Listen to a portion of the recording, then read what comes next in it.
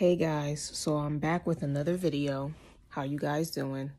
I know I gave y'all a new video heads up that's coming soon. That's about my son and I doing the interview about um talking about what he knows about toxicity, about um toxic people and people treating you bad.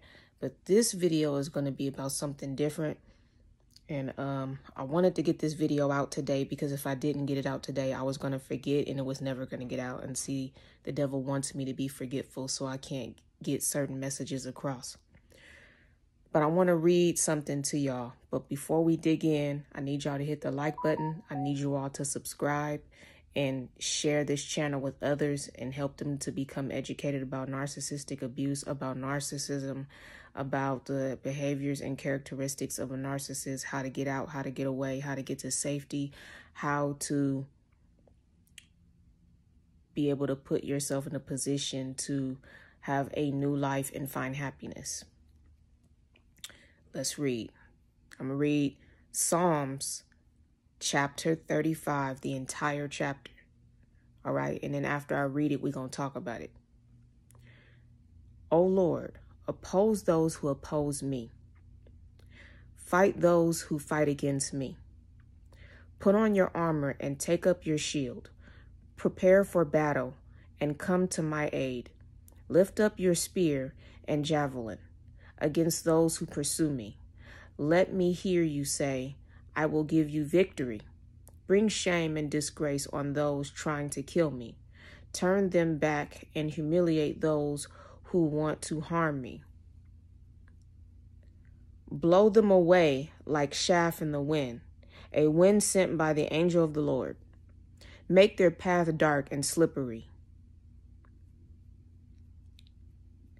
With the angel of the Lord pursuing them, I did them no wrong, but they laid a trap for me. I did them no wrong, but they dug a pit to catch me. So let sudden ruin come upon them. Let them be caught in the trap they set for me. Let them be destroyed in the pit they dug for me. Then I will rejoice in the Lord. I will be glad because he rescues me. With every bone in my body, I will praise him. Lord, who can compare with you? Who else rescues the helpless from the strong?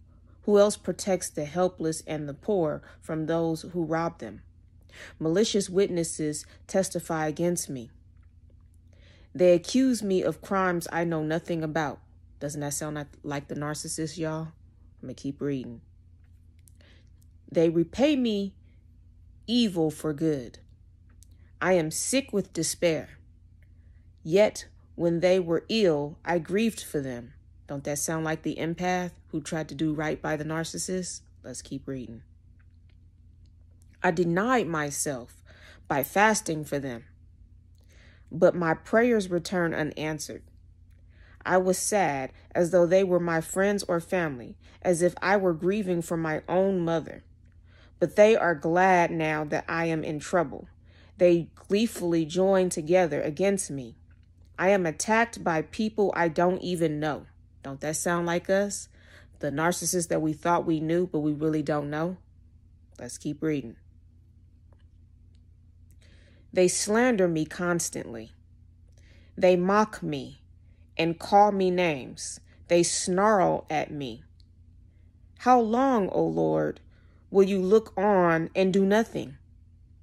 Doesn't that sound like us when we depend on God to fight battles for us and it seems like God is just not doing nothing and it seems like God is just letting us suffer instead of the narcissists or the people who's attacking us or doing us wrong?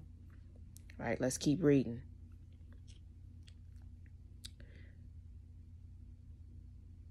Let's see where I left off at. Rescue me from their fierce attacks. Protect my life from these lions. Then I will thank you in front of the great assembly. I will praise you before all the people. Don't let my treacherous enemies rejoice over my defeat. Don't let those who hate me without cause gloat over my sorrow. Don't talk of peace. They plot against innocent people who mind their own business. Don't that sound like the haters that come against us who was in competition with us, but we was never in competition with them? We mind our own business and trying to do our own thing while they steadily minding our business. Yeah, that sounds like a lot of what's going on right now. Let's keep reading. They shout, Aha, aha. With their own eyes, we saw him do it. Oh Lord, you know all about this. Do not stay silent. Do not abandon me now, O Lord. Wake up, rise to my defense. Take up my case, my God, my Lord. Declare me not guilty, O Lord my God, for you give justice. Don't let my enemies laugh about me in my troubles. Don't let them say, Look, we got what we wanted. Now we will have him alive. Or now we will eat him alive. May those who rejoice at my troubles be humiliated and disgraced. May those who triumph over me be covered with shame and dishonor. But give great joy to those who came to my defense. Let them continually say, Great is the Lord, who delights in blessing his servant with peace. Then I will proclaim your justice, and I will praise you all the day long. So, what I just read to y'all was the whole entire chapter of Psalms, chapter 35. It keeps seeming like there's something on the side of my face. That's why I keep doing this, but um, I guess my eye is seeing things. Um, yeah, guys, I just think y'all don't understand who y'all truly are, especially those of y'all who are believers and followers of Christ, who are God's children. Y'all really don't understand who you are. I don't even understand who I really am. And I'm just now coming to grips with the fact that I am special. I am a gift. I am on the right side of the coin. I'm on the right side of the of of war. I'm on the right side of this fight. And I have a whole lot more power than I think I do. And do I wish this on my enemies? No, but do I want to be defeated from my uh of my enemies? No, but do I want to be defended from my enemies. Yes, I want God to defend me. I want God to have my back. I want God to protect me. But I don't wish harm on my enemies. Because if I wish harm on them, harm will come to me. That's just how God works. God is holy. That's why we can't do certain things because God is holy. And if God goes against his own word, that does not make him holy. So don't worry about trying to get revenge um, on the narcissist God will get the revenge for you. His word says, vengeance is mine. So our job is just to release all of our cares, our worries onto him. Our job is to release that all to him and he will take all of that burden, all of that worry, all of that pain, all of that sorrow, all of that disappointment. He will take all of that away for us and he will carry that for us, okay?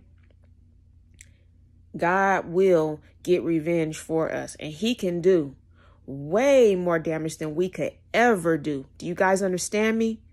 Like God is not playing with our enemies. God is not playing with these people. God is going to make these people pay for what they did to you. He's going to make these people pay for what they did to me. He's going to make these people repay every single move that they made against you times 700. Okay? God has your back more than you can ever fathom, more than you can ever understand or comprehend, more than I can even understand or comprehend. That's why whatever the narcissist does to us, guys, we have to release it to God. We have to take it to the altar and release it to our Heavenly Father. He will back us a thousandfold.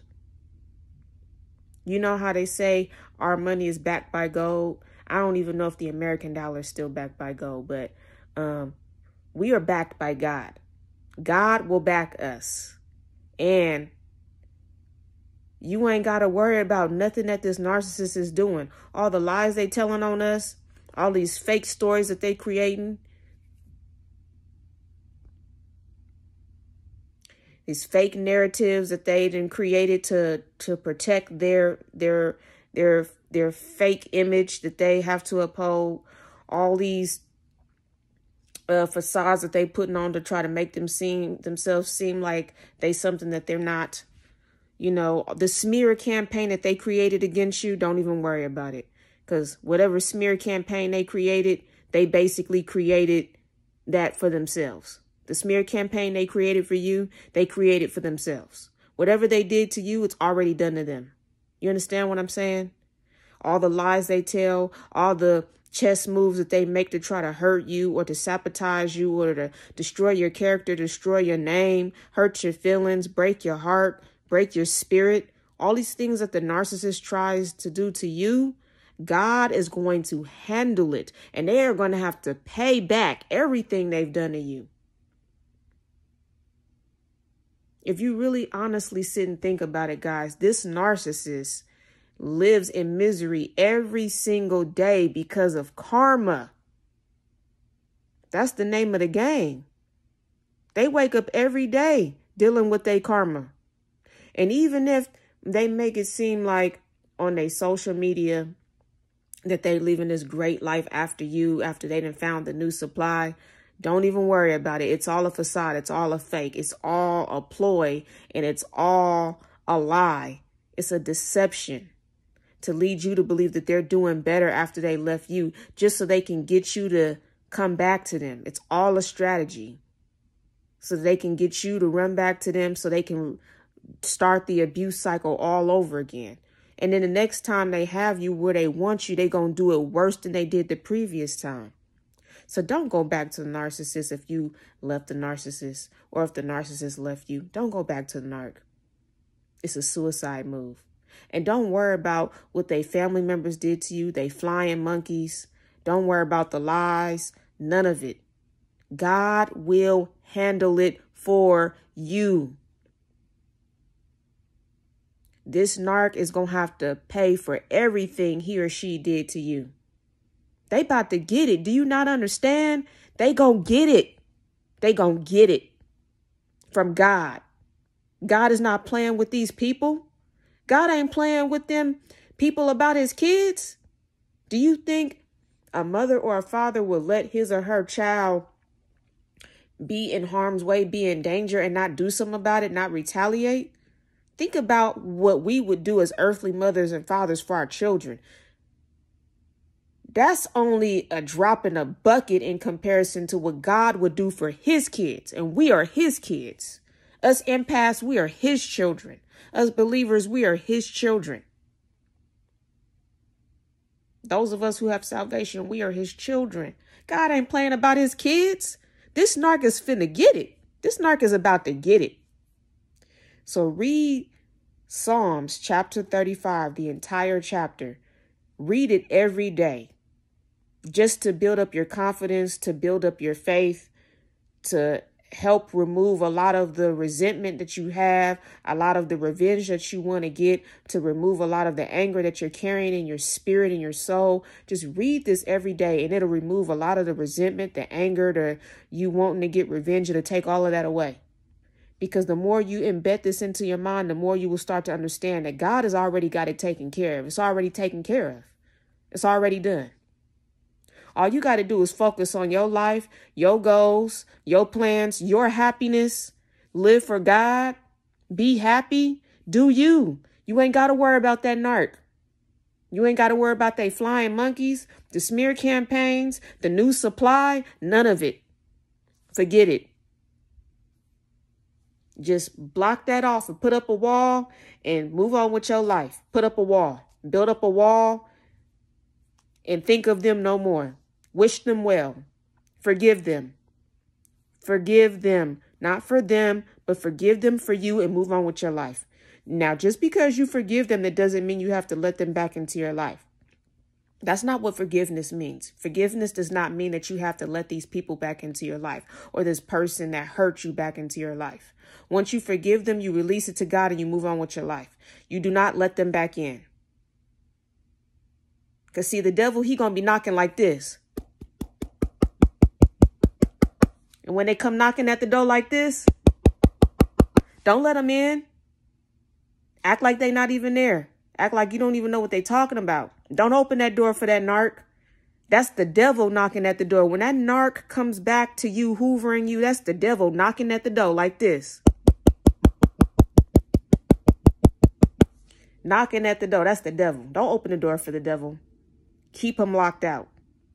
You don't let the devil back into your life. Once you didn't forgave the person for what they did to you, you it's done. It's over with. You've washed your hands of it. God takes over from there. So I love you guys. I just wanted to share that with y'all that this video can encourage y'all to give y'all some inspiration to make you feel better, to take away a lot of this anger, a lot of this resentment, a lot of these grudges, a lot of this revenge that you want to get on the narc. This scripture will take all of that away for you. It'll take all of this off, uh, off of your spirit, off of your soul, and make you feel lighter. And your body will start to heal. Once you forgive this narc and move on with your life, your body will physically start to heal.